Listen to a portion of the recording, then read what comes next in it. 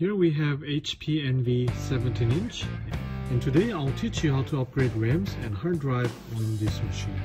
First off, flip over your laptop.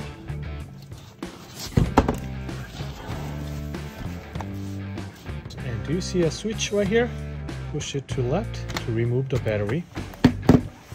And I don't know if you can see that, but there is a screw right here that we need to remove. Once it's removed, you can use your finger to pry up this plastic cover. Just like that. Now we have memory.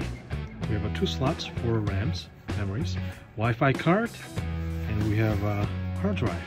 Okay, I'll show you how to remove the hard drive. RAMs, you can just pull these two tabs on the side remove. You can reinstall just like that. Hard drive, you need to have a, a thin plastic or metal prying tool and then you need to pry up the hard drive from here or here. I'll pry up from this point.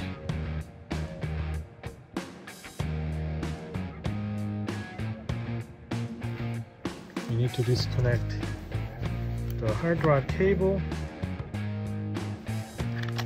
And there is our drive. And you're gonna take this off sky blue rubbery piece. And you're gonna install this on a new hard drive that you are installing. If you have any question leave comments. I'll do my best to answer your question. Thank you for watching